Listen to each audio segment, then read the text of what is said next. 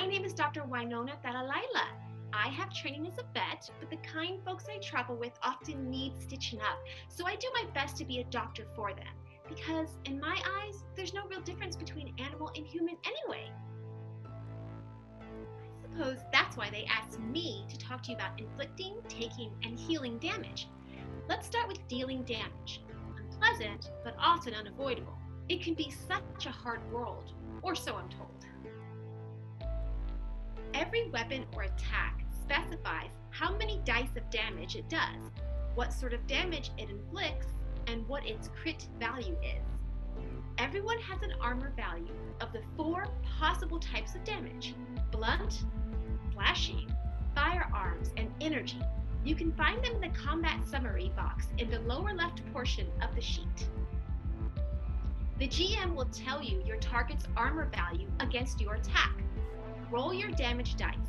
Every die that equals or exceeds your target's armor inflicts a point of damage. Crits do extra damage.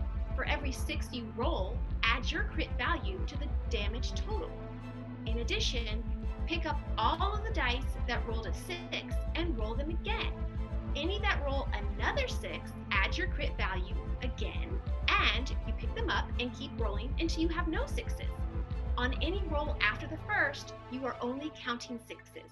The whole armor thing only happens the first time around. For example, you are shooting a pistol at a very rude young man. It is a four die weapon that deals firearm damage and has a crit value of two.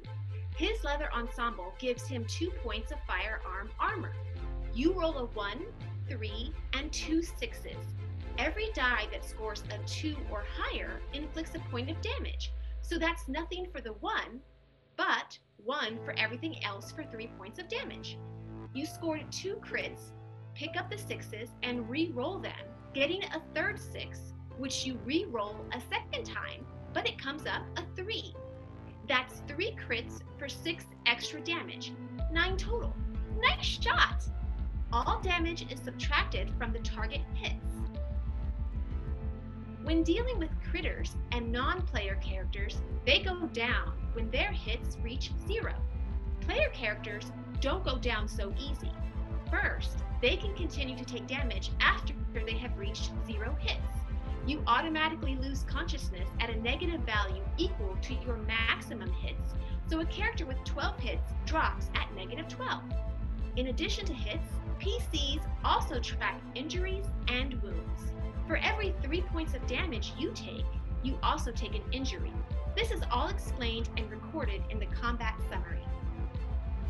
Every PC has six injury boxes. When you take an injury from an attack, roll a 6D and mark the indicated box.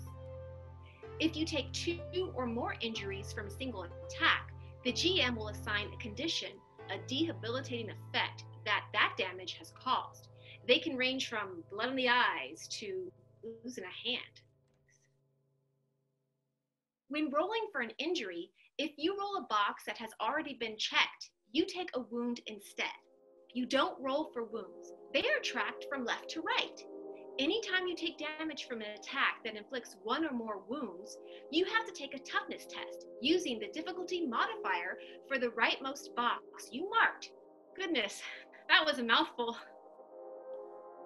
So, if you get shot and took a wound, but already had one marked, you end up with the two leftmost boxes marked and have to make a toughness test at a one difficulty. If you fail, you lose consciousness. If you have negative hits, you are also dying. On to a happier subject recovery. After a 10 minute rest, all hits are restored. You have to be safe to recover, so you can't rest anywhere where you are in immediate danger.